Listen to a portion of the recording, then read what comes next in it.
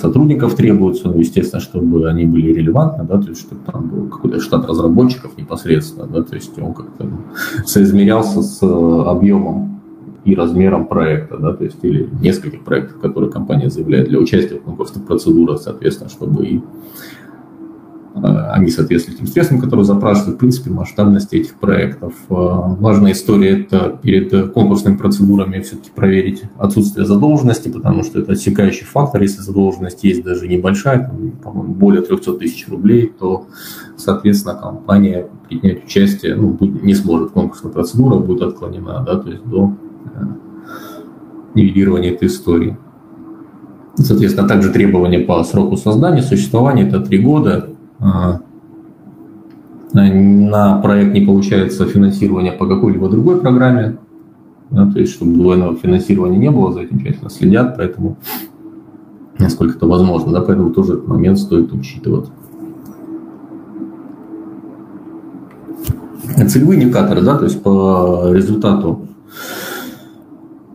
проекта необходимо будет достичь определенных показателей. Как я уже сказал, а, необходимо в рамках комплексного проекта продукт разработать, его выпустить, соответственно, продать. Да? То есть это требование обязательное, как и последующее на этом слайде, соответственно, не менее трехкратного объема суммы субсидий необходимо совершить продажу. Да? То есть а сейчас немного постановление модернизировано, а, можно продажи осуществлять не только а, ну, напрямую компании. Яков Игоревич, пару слов, кто и как может еще осуществлять продажи?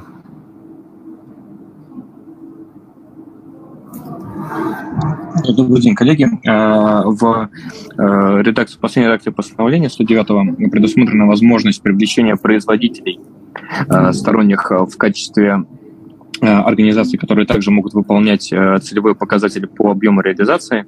То есть вы можете в рамках своего проекта заявить какую-либо какую-либо стороннюю организацию, которая будет выполнять функции производителя и также ну, фактически реализатора вашей продукции. То есть э, вы можете разработать КД, разработать продукт, отдать его на производство и реализацию сторонней компании. И э, та выручка, которую этот производитель будет получать от реализации продукции, разработанной на основе вашего КД, ее также можно будет зачесть в качестве целевого индикатора по вашему соглашению о предоставлении субсидий.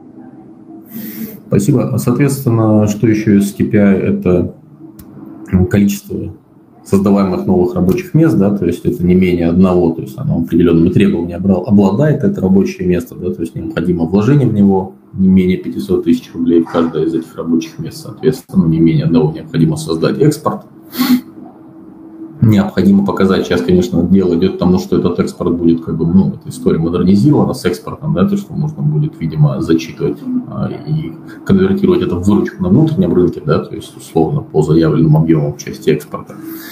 А, соответственно, риды. Необходимо создать один ноу-хау, да, то есть либо же там запатентовать решение какое-то определенное, да, то есть этот ранжир, в принципе, в постановлении перечислен, так или иначе все это сущности является одной, да, по большому счету просто на старте при экспертной оценке что-то дает больше баллов, да, то есть об этом мы тоже поговорим уже в соответствующем блоке нашей программы, который будет идти два дня по факту.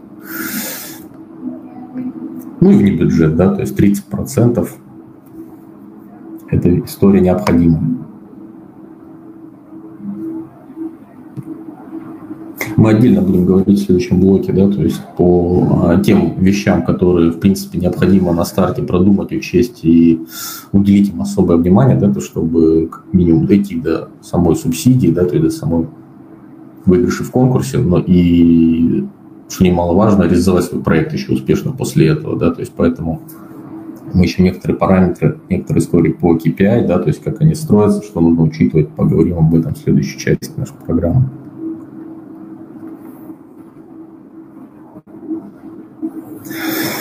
Соответственно, как и любая мера поддержки, а, как любая субсидия, в частности, которую мы рассматриваем сегодня, обладает определенными фиксированными статьями затрат, да, на что средства данной меры поддержки можно потратить. А, соответственно, а, перед вами они приведены, разбиты на две части. Есть э, статьи затрат, которые могут быть компенсированы за счет бюджета, да, то есть за счет самой субсидии. Есть э, вариации этих статей затрат, да, то есть которые могут быть покрыты за счет вне бюджета, да, собственно, еще чего можно бюджета, бюджетное финансирование показывать, помимо тех статей, да, которые есть в левой части экрана. Соответственно, это и оплата труда работникам, да, то есть непосредственно занятым разработчикам, да, это и оплата, собственно, накладные расходы, в том там, оплата зарплата УПУ, расходы на подрядчиков, то есть часть работ можно поставить на субподряд, это регламентировано 60%, да, статья нормирована, не более 60% субсидий.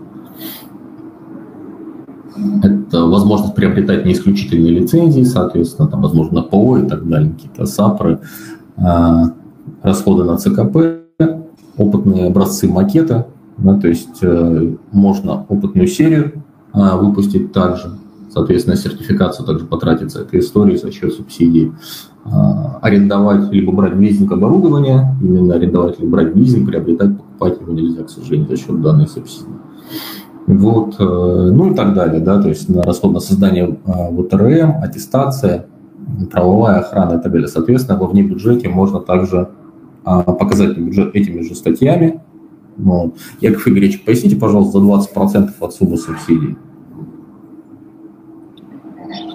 Да, э, в студийном постановлении есть э, ограничения, э, связанные с тем, что внебюджетные расходы вы не можете потратить только на вот если мы говорим про пункт Б, который на слайде есть, расходы, связанные с модернизацией объектов недвижимого имущества и серийного выпуска продукции. То есть на этапе неокр, когда вы разрабатываете свой продукт, вы обязаны э, потратить внебюджетных, то есть собственных денег, не менее 20% от суммы субсидии именно на неокр а всю остальную часть можете уже как бы показывать э, за счет недвижимого имущества. Также хотел еще остановиться на том, что Минпромторгом подготовлены э, изменения Э, в 109 постановление, в том числе касаемо статей затрат.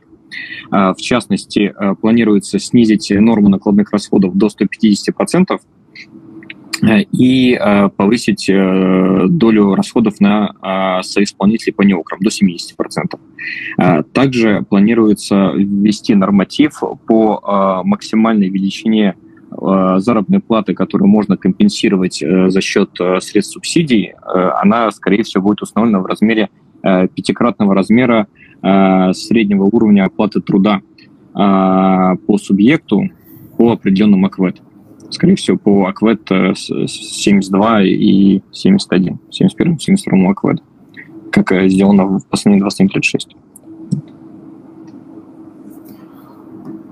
А, я как, спасибо большое. Да, то есть мы еще в конце там, нашего там, выступления по 109 постановлению по пару слов скажем об изменениях, которые планируются вот, в этой всей истории. Они-то значительно достаточно. Да, то есть и новые сущности возникают, в принципе, административные, которые принимают участие в работе этого постановления частично.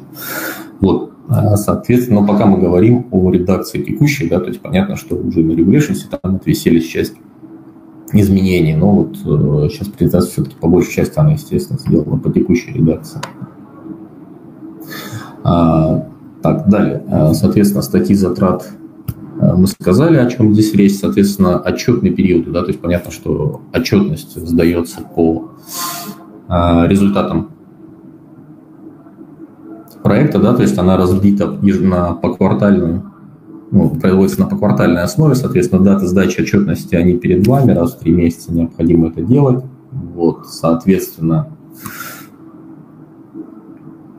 а каждые три месяца, то есть она относительно там усеченная, каждые полгода она там, полноценная, это отчетность, соответственно, а, за несдачу, да, то есть или отклонение по целевым показателям, там, выручка, создание рабочих мест, прочее, да, о чем мы говорили там с два слайда назад, да, то есть если отклонения эти присутствуют или компания не достигает каких-то показателей, соответственно, предусмотрены штрафные санкции определенные. Вот, э, по штрафным санкциям э, и условиям, на которых уже наступает расторжение. Также эта информация перед вами, в принципе, ничего, ну, как бы ничего особенного. Последнее, при последней редакции 109 это стало более демократично, скажем так, э, плане этих показателей, то есть теперь можно там не достигать чуть подольше каких-то показателей, тем не менее, вот, но все равно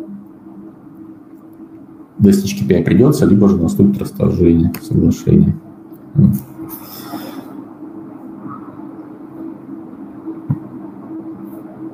Э, коллеги, если коротко, какие-то вопросы там можете голосом задать по 109 постановлению. Вот. Если нет, то я тогда просто еще пару слов скажу по тем изменениям, которые планируются. А, смотрите, э, предполагается там возникновение новой сущности, правительственной комиссии определенной, да, то есть которая э, будет давать возможность там, при согласовании там, с ней там, для некоторых проектов определенные бонусы, скажем так, ну то есть расширять возможности текущего постановления, там, денег больше, сроки дольше для проекта, ну и прочее. Как, на самом деле вот вилка именно возможностей, хотя они, они все регламентированы сейчас, возможности для проекта, но она просто станет шире, может стать шире, да, то есть все эти изменения пройдут там, и так далее. Вот, на это сейчас взят вектор, поэтому и более того, там все-таки есть преференции для проектов, которые касаются критической информационной инфраструктуры, да, то есть это связано с соответствующим там, указом, который планируется к выпуску. Вот, соответственно, в эту сторону как бы тоже будет определенное движение, да, как регламентируется. Соответственно, вот а,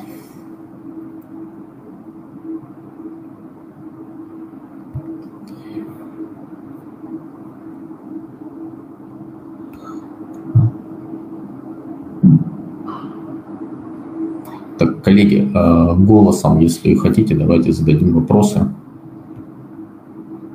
У нас есть такая возможность?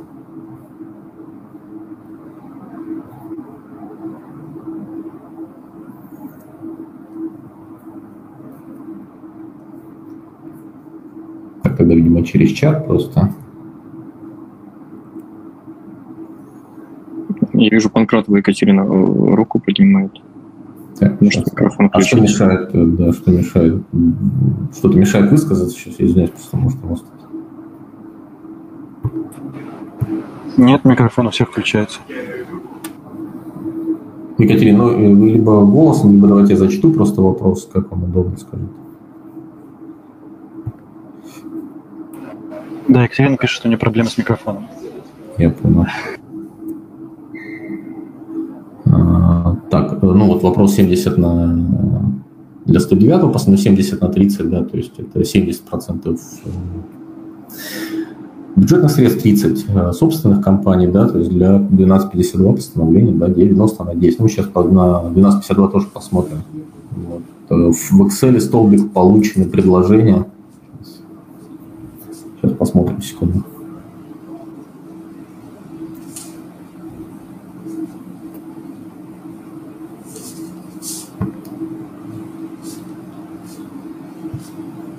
Давайте в конце вернемся к этому. Я там просто ну, сейчас, чтобы не терять времени, это я открою, посмотрим, что за момент, который, по которому вопрос возникли в части подачи предложений.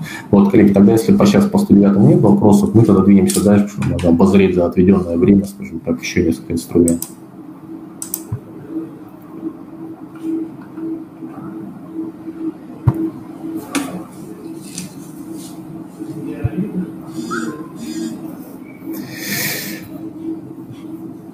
А можно уточнить? Спрашивайте. А, вот подскажите, пожалуйста, начало конкурсного отбора когда планируется? По 109 в конце июня. По 12.52, соответственно, ну, далее. А, сразу за этим. Отбор, насколько я понимаю, в принципе, будет достаточно долго длиться. А информацию где можно отслеживать?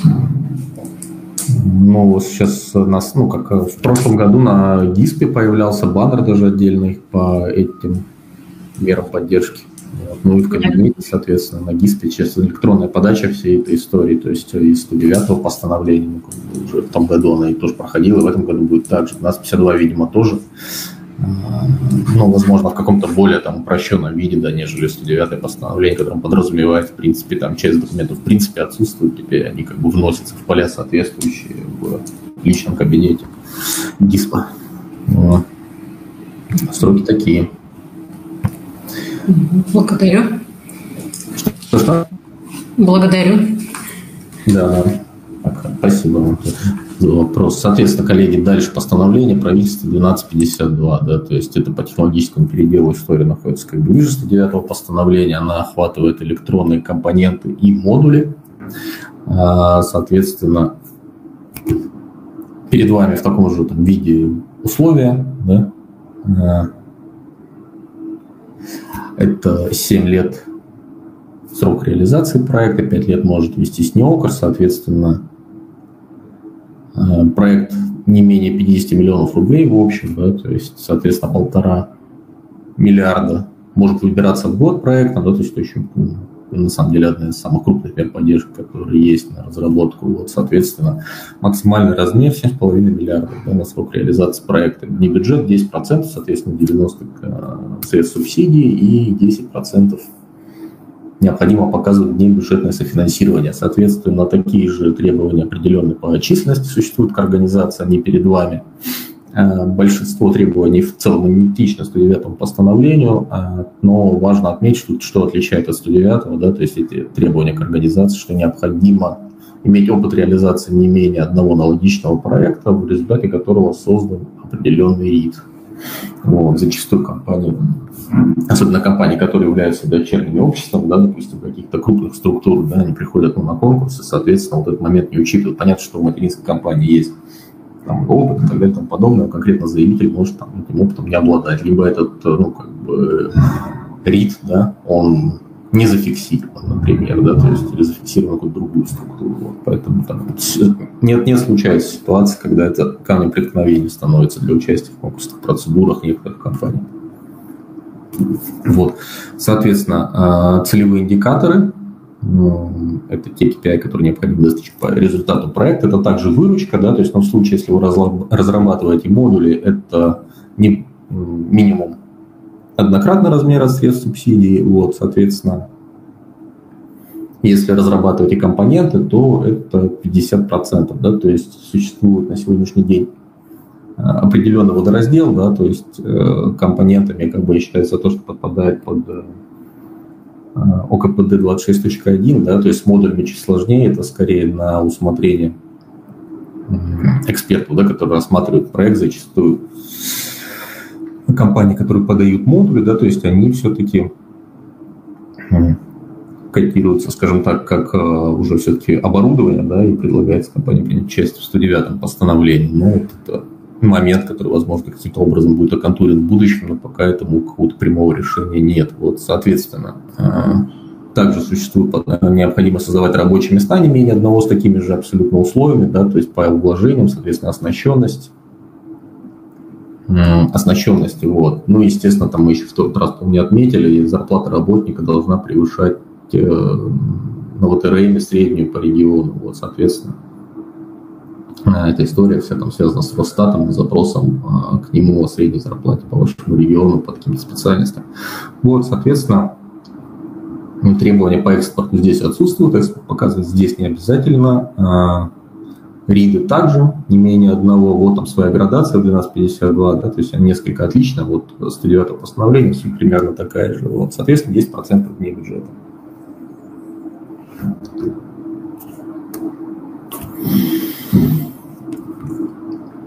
статьи затрат.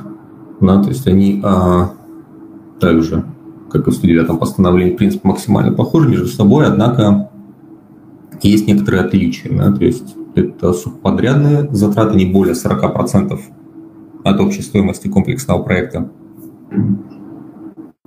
А, есть возможность изготовления фотошаблонов, оснастки и так далее. Да, то есть соответствующая статья присутствует. И расходы на аренду лизинг да, тоже занормированы здесь. А, Яков Ильич, два слова скажите про нормирование по аренде и лизингу. 50% от статьи затрат здесь. Да, здесь имеется в виду, что э, э, если по всем основным э, затратам, ну, основные общие ограничения, то по, в части расходов на аренду и лизинг, а также на изготовление первой партии, вы можете субсидировать не более 50% таких затрат. То есть, словно говоря, если в рамках а, отчетного периода вы э, на а, оборудование, на лизинг оборудования потратили там 50 миллионов рублей, ну, для примера, 100 миллионов рублей лучше, то, соответственно, компенсировать именно за счет средств субсидий вы сможете не более 50 миллионов. То же самое с первой партией. Если первая партия стоит там, миллион рублей, то компенсировать можете не более 500 тысяч. То есть не более половины. Да, соответственно, там присутствует такая сущность, как первая партия серийной продукции, да, то есть она не занормирована в целом, как говорится, на усмотрение экспертного совета и адекватности по размеру но ориентируются на целевого заказчика по письмам в первую очередь. В части обоснованности ее размером. А, Яковлевич, расскажите про внебюджет оперативно, пожалуйста, если вам не сложно. Спасибо. А, да, с внебюджетом а, в рамках 1252 ситуация чуть более простая, чем в 109. Если вот про 109 я говорю, там есть обязательное требование вкладывать именно в неогровские статьи затрат на бюджет, то э, в рамках 1252 вы можете тратить свой бюджет э, на все предусмотренные статьи. То есть как вкладываться непосредственно в неокр, так и э, параллельно модернизировать производство, осуществлять капитальное вложение в, подго- в подготовку серийного производства и так далее. Э, также предусмотрены расходы по на обучение сотрудников не более 2% от общей стоимости проекта и на продвижение продукции. То есть на участие в выставках, выставках конференциях, э, изготовление какой-либо рекламной продукции и так далее. Э, вот, в целом такая ситуация. Ну и еще раз повторюсь, э, общий э, объем вне бюджета должен составлять не менее 10%, как в целом по проекту, так и в каждом отчетном периоде. Угу. Спасибо большое.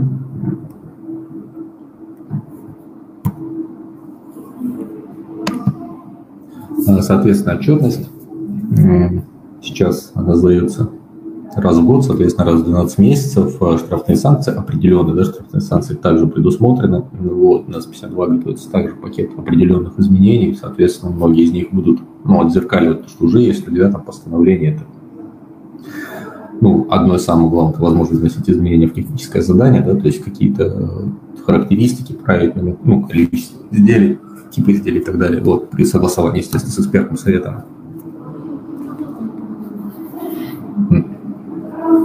И также поправят, собственно, условия, при которых наступают штрафные санкции, расторжения станут э, более мягкими, что ли. Вот. А, соответственно, так. Коллеги, какие-то вопросы есть по 12.52, то, что потом материал, который вы сказали сейчас. А, добрый день, коллеги. Нет. А, подскажите, есть ли ограничения по количеству одновременно реализуемых проектов? Если есть, в каком разделе постановления это указано? Потому что вроде бы есть, но не можем найти. Пять проектов? Нет, в рамках, э, не, в рамках 1252 не установлено ограничение, там только есть ограничение на количество заявок на один конкурс, там не более трех заявок. А, да, не более трех заявок, точно. Да. Понятно. Ограничение на параллельно ведущиеся проекты есть только в 109-м. Там не более пяти одновременно ведущихся проектов. В 1252 ограничений такого нет. Принято. Спасибо. Коллеги, есть еще вопрос? Можно? Да, да, конечно. А, по поводу презентации, которую вы анонсировали, э, была экселевская форма и э, презентация с э, подачей да, ну, планируемого да, проекта. Да, была, была. И внизу по центру там был такой квадрат, где указывалось, ну, откуда 70% взялось, да, соответственно, там потребность в субсидии, да, и не более 70% стоимости проекта. Я правильно понимаю, что не более 70% это касается 109 постановления, а в случае, если у нас 1252, то там указывается не более 90%. А, да, но, Екатерина, именно форма, которую вы демонстрировали, это она касается только 109 постановления, как бы пока сбор требует, ну, как потребности на 1252 еще не объявляли, то есть это собирают на 109 постановление данных. А, то есть это касается только 109 109 да, да, да, да, да, да. да. Ага, понятно. А, а вторая табличка, которая э, получена, точнее, экселевская форма, где написано «получено предложение». Что это означает, само предложение? Сейчас, честно говоря, уже не помню. Это, наверное, это там форма, это просто эта форма разработана э, для ассоциаций и как бы Минпромторг Э, как бы в, в этой форме ассоциация говорит о том, какие предложения от каких компаний получены. То есть там общая, рас... ну это техническая позиция, вам не нужно запомнить. А, ну то есть, грубо говоря, если мы получили эту форму, значит мы автоматически ставим «да». Да, да. Угу, понятно, спасибо. Коллеги, какие-то еще вопросы, если есть, давайте обсудим. Да, вопрос можно? Здравствуйте. Да, конечно, слушаю вас. Ага, подскажите, пожалуйста, в рамках 1252 есть возможность субсидировать затраты, связанные с лизингом оборудования и приобретение технологической оснастки. Ну, 50%, 100% соответственно. Отчетный период по данному постановлению э, заканчивается 30 сентября ну, текущего года. Вот э, если э, поставка оснастки, допустим, и э, оборудование лизингового произойдет не до 30 сентября, а более поздний срок, там октябрь, ноябрь, декабрь, неважно, то есть в четвертом квартале текущего года, а, авансовые платежи по лизингу оборудования и по технологической оснастке будут а, приняты в счет, а, ну, в качестве компенсации за счет средств субсидии. То есть мы платим, договора с контрагентами заключены, но поставка в силу определенных причин, э, всем, всем известных, задерживается. А, да, смотрите, тут несколько комментариев. Э, первое. Э, авансы в рамках субсидий всех возможны только при условии наличия казначейского сопровождения у ваших поставщиков. То есть вы не, как бы, если вы платите кому-то аванс, то за счет средств субсидий, то только на казначейский счет. Вот. Э, соответственно, если вы платите на казначейский счет, то как бы проблем нет, как бы это возможно. Главное, чтобы аванс, э, вы не можете передержать аванс на казначейском счету через календарный год. То есть, как бы, если у вас поставка будет в январе, то это плохо ну, если, условно говоря, аванс вы сейчас вот заплатите в этом году на, на казну, а поставка mm-hmm. будет в следующем, то у вас как бы, ну, аккредитив закончится, аккредитив до конца года mm-hmm. календарного. Вот, это первый момент. А обычно, ну, как необычно, так многие э, платят аванс за счет собственных средств и потом mm-hmm. компенсируют расходы уже по факту. Соответственно, если вы будете делать именно так, mm-hmm. то вам проще отнести эти затраты просто на следующий период отчетный если вы будете, ну, в, в, в каком э, э, периоде вы фактически получите оборудование и в, в каком вы за него как бы рассчитаетесь окончательно, в том периоде просто и показываете эти затраты. Ну, то есть, когда УПДшки будут на руках, да, акты э, приема передачи, ввода в эксплуатацию, только тогда мы сможем э, компенсировать э, фактически свои затраты за счет средств субсидий. Правильно понимаю? Да, все правильно. Угу. Ну, еще забегая вперед, у нас, как, у кого возможность будет, там, присоединиться там завтра. Завтра мы по отчетности прям отдельно еще будем разговаривать. Коллег соответствующих пригласим вот на эту беседу. Угу. Так что присоединяйтесь, какие-то еще, может, вопросы накопятся, пожалуйста. Да, а то есть, если, ага, то есть, а если авансируется с казначейских счетов по поставщикам нашим, а, даже при условии, что поставка будет в четвертом квартале, это будет э, считаться э, субсидией текущего отчетного периода, эти платежи? Да, да, да. У вас в целом отчеты по субсидии, они как э, по движению денежных средств вы их делаете. Угу. То есть, как бы, если вы средства субсидии как бы отправили куда-то, то да, вы отчитываете сейчас по ним и показываете, что это аванс. Ну, как бы, если как бы, вы не успеете погасить аванс до конца года, там как бы, определенные проблемы, но как бы, это уже другой вопрос. Немножко. Коллеги, еще вопросы какие-то или, или двигаемся дальше? Может, спасибо за Там, Сергей, в, в чате есть а, вопросы. Я просто, ну, такая история, я не вижу ага. чата, к сожалению, ага. по презентации. Коллеги, вопросики есть по планируемым изменениям в 1252. Вы упомянули, что в 109 будет новая сущность производитель. Планируется ли что-то подобное да, в 1252? Да, да, да, да, да, да. да. А может э, производитель, э, ну, по аналогии, да, со 109, то есть может производитель продавать также ну, планируется это, как бы, если это все утвердится, то это так и будет. Но вообще планируют коллеги такое изменение внести по аналогии. Вот. Из чата тогда вопросы. Э, Конечно, вопрос, Яков. На тему, э, сколько продлится подача заявок по времени? Есть понимание? По 109 обещают, ну, как бы планируют, да, то есть месяц да, долго принимать планируют. На 52, наверное, тоже. То есть Нам надо сразу... Э, сначала будет 109 в течение месяца, да, а только после этого запустят 1252, или их могут видимо параллельно? так, видимо так. Я не знаю, насколько административно, ну, как бы хватит лишь административных возможностей, чтобы вести две параллельные меры, не знаю. Ну, а, То есть э, тех, э, технически они могут вести две, два параллельных конкурса. Вопрос просто в том, э, когда выйдут изменения в правила. То есть решение концептуальное есть о том, что конкурсы будут играться после внесения изменений, о которых вот Сергей говорил. Вот как только изменения внесутся, будет объявляться конкурс. Ну, также нужно отметить, что как бы, по опыту прошлых лет зачастую объявляются конкурсы со сроком там, 10-12 дней. То есть, как бы, Минпромторг всегда хочет играть как бы длинные конкурсы, но иногда у них какие-то свои есть бюрократические э, препоны, и конкурс может быть короче, чем обычно. Угу.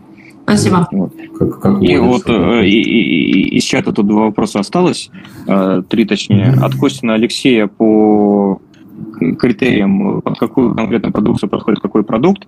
Э, единственное, что можем сказать, что все, что относится к коду 26.1 ОКПД, это точно относится к 1252. Что касается э, как бы разделения, что, что такое модуль, что такое продукт, и вот тут картинку даже Алексей приложил Э, некой платы, э, к какому изделию ее отнести, там, в 109 или 1252, э, четкого понимания нету. Есть как бы общий такой общее определение, что в 109 заявляются те продукты, которые готовы к использованию как отдельная сущность. Условно говоря, там планшет, там, не знаю, еще что-то. Если мы говорим там про, допустим, сетевую карту, то это скорее модуль но в то же время в рамках 109 постановления есть факты э, поддержки э, там, проектов по разработке э, там, условных материнских плат и так далее. Поэтому это очень такая э, размытая ну, условно, да, то как подать тоже, ну, это специфика, да, то есть определенно, как подать, то есть, ну, грубо говоря, там, там элемент кузовной электроники какой-то отдельно взятый, да, то есть это модуль образно говоря, да, то есть какое-то там управление двигателем или ГЛОНАСС какой-то блок, да, там, допустим, это модуль, да, как бы все вместе в системе образует уже, ну, как бы, ну, как, скажем, условно, некий программно-аппаратный комплекс. А, ну, тоже еще специфика, я, я к чему говорю, что типа, специфика проекта тоже влияет на определение того, подходит это или нет. Как, как и, да, и еще один вопрос. Э, какой вклад в оценку проекта вносит объем экспорта? Нужны ли письма для его подтверждения. А, ну, вторую часть отвечаю, конечно, да, письма нужны, причем письма, как бы, письма относятся достаточно требовательно. То есть, если вы просто принесете какое-нибудь письмо там из от непонятной организации иностранной, то как бы вам, скорее всего, такой экспорт не зачтут. То есть, это должна быть релевантная организация, которая действительно занимается там производством электроники или потреблением. Вот. А вклад э, в оценку проекта, ну, условно говоря, э, в 1252 э, объем экспорта дает 2 балла. Э, из, э, вы причем должны набрать, там, насколько я помню, 18 баллов. То есть 2 из 18 баллов вы можете получить за экспорт. Ну, то есть это не самый высокий критерий. Ну да. Но это в рамках 1252, где экспорт не обязателен. В 109-м э, как бы заявлять экспорт пока обязательно в текущей редакции постановления. Ну, 1252 как бы экспорт, он, естественно, дает определенное количество баллов, потому что ну, реально очень часто ситуация, когда ну, проект не добирает там чуть-чуть совсем, то есть 1-2 балла, то есть, условно говоря. Но мы по методику еще поговорим, да, которая тоже, в принципе, там планируются изменения определенные в ней, но в любом случае там базовые параметры, я думаю, как сущности, они никуда не денутся, может, это будет переработано, но тем не менее. Вот, соответственно, там тоже по этому вопросу там ряд ну, определенный пул информации дадим да, в соответствующем блоке там, по программке. Собственно, мы работаем в этом зале «Волна», получается, все дни. Вот, и там последующие блоки там касаются этих вопросов. Коллеги, по 1252 еще будут вопросы какие-то или дальше идем? Так, видимо, нет. Ну, ну хорошо. Вот, э, соответственно, что... Здравствуйте. А, скажите, могу задать вопрос, вот такое небольшое уточнение.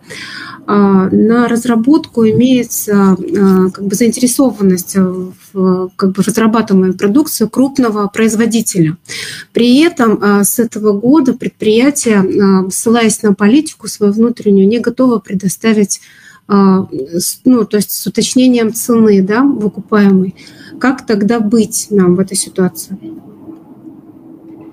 Ну, Вы имеете в виду, что в письме они цену не могут поставить? Да, ведь э, в письмах поддержки должно быть указано как бы предварительные объемы и стоимость. То есть крупный э, производитель, наш потребитель, э, с этого года не готов как бы такие письма предоставлять.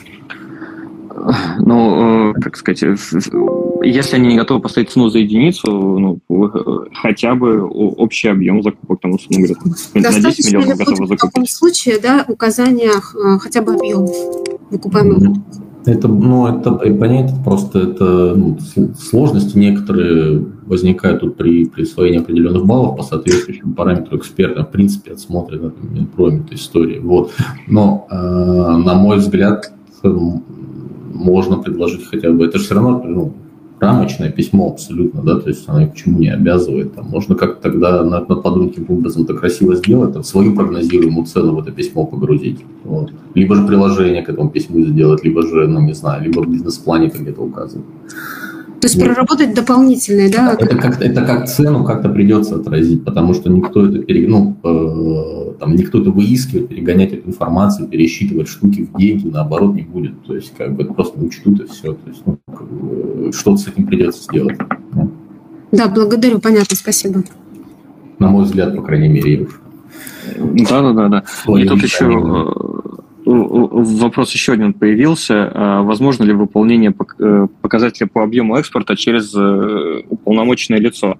А, здесь тоже э, комментарий такой даем, что в 109-м постановлении, вот в новой редакции, там планируется ввести понятие экспортера как отдельной сущности, чтобы как раз вот как бы, была возможность осуществлять экспорт через ну, уполномоченное лицо экспортера в виде некого торгового дома экспортного такая возможность должна быть введена. Пока ее нету. Угу. Есть такое. Коллеги? Что-то еще просто? Или... Вроде на все, что в чате мы ответили. Если голосом кто-то захочет, там может в конце задаст или сейчас тогда спрашивает. Просто мы тогда еще сейчас посмотрим 21.36, соответственно, и ну, сколковскую меру поддержки, он как раз, я думаю, что время и позволяет это сделать.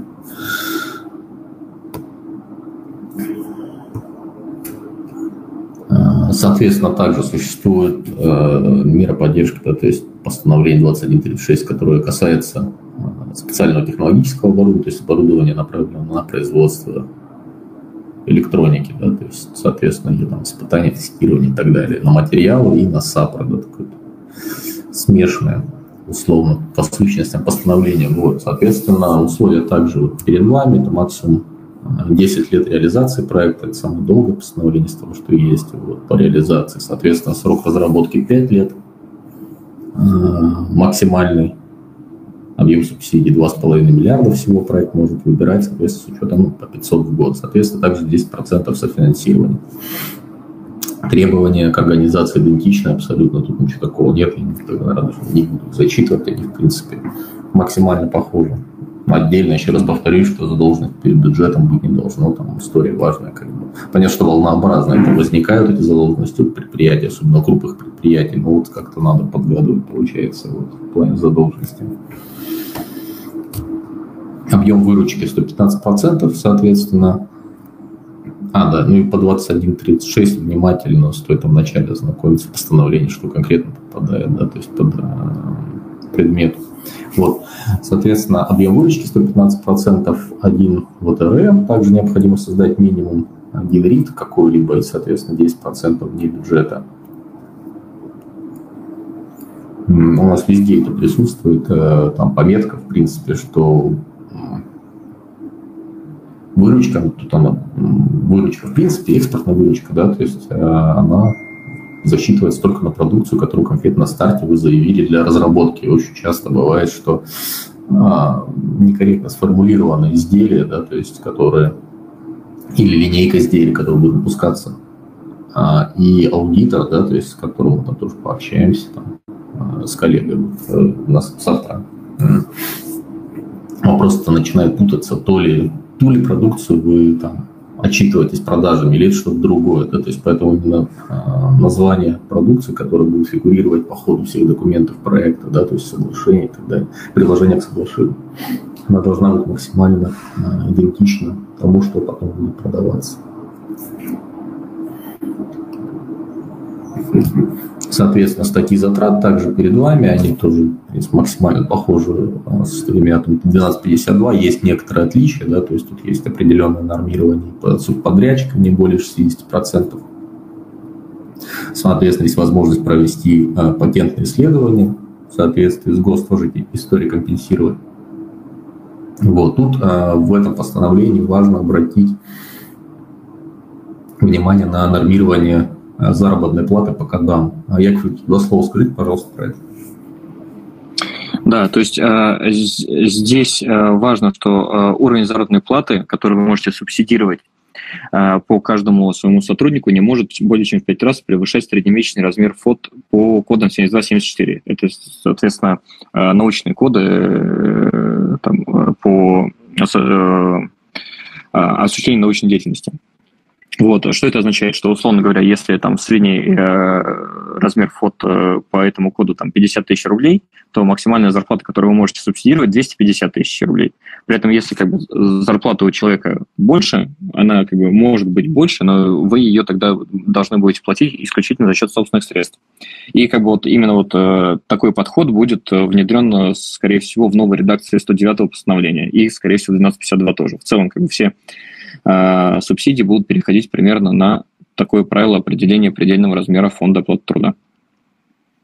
Да, да, это, это крайне важный момент, как бы за него ну, отметить, посмотреть, особенно если ну, группа разработчиков дорогая, ну, бывает, что весьма дорогая, да, как мы там, видели недавно у одних коллег, да, которые участвовали в этом постановлении, соответственно. Вот эту историю надо заранее планировать, потому что ну, если это не учесть, да, то есть этот объем, то можно неправильно расчет сделать фин-модели и в будущем там на ряд неприятных историй налететь, да, мы как раз про это поговорим в следующем блоке, там какие кейсы случались и так далее.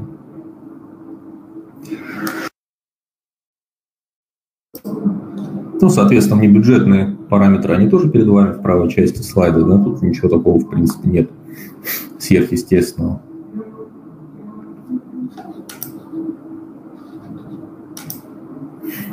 Отчетность. Также поквартальная, соответственно, сейчас э, она перед вами. Э, эти даты, соответственно, там эти штрафные санкции, но это тоже максимально похоже, на самом деле, на то, что есть в 109 постановлении. Вот. Так, коллеги, по 21.36 мы тоже краткую информацию дали, то есть какие-то вопросы по этому инструменту есть или нет? Если есть, рады будем ответить. Правда, честно говоря, уже прием заявок закончен в этом году на нее. Я не знаю, будет ли еще раз повторный конкурс по нему в этом году. Не уверен, если ликвиды. А, да, есть информация, что э, летом, примерно в июне-июле, планируется еще один заход на 2736. Ну, тоже сейчас э, правила по 2736 будут немножко доработаны. Вот, и после внесения изменений, скорее всего, тоже будет еще один конкурс. Но это как бы ориентируйтесь на конец июня-июля, не раньше.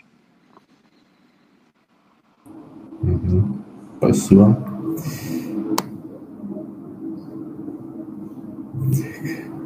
А, коллеги, смотрите, тут тогда, наверное, мы посмотрим еще на то, что есть у Сколково, да, то есть, и, наверное, какие-то вопросы поотвечаем, если они будут.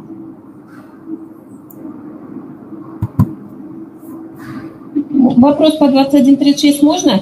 Конечно, конечно, все равно пока презентацию скоро да, ставлю. Да, подскажите, пожалуйста, вот э, в презентации по 21.36 у вас указано российское юридическое лицо должно э, иметь и так далее там 25% в офшорах, а в 1252 50% такой критерий. Это какая-то техническая ошибка, либо э, это разные требования в этих постановлениях?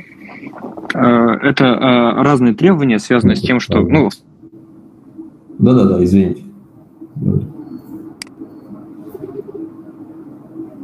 Я... Да, я немножко пропал, наверное. А...